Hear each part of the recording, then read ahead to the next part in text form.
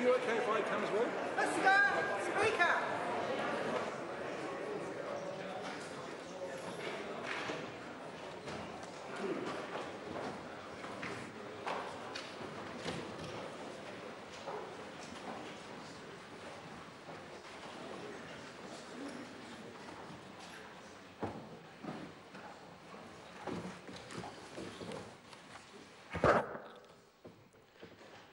Almighty God, humbly acknowledging our need for thy guidance in all things, and laying aside all private and personal interests, we beseech thee to grant that we may conduct the affairs of this house and of our country to the glory of thy holy name, the maintenance of true religion and justice, the honour of the Queen, and the public welfare, peace, and tranquillity of New Zealand.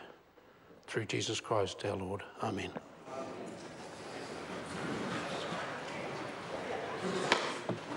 The acting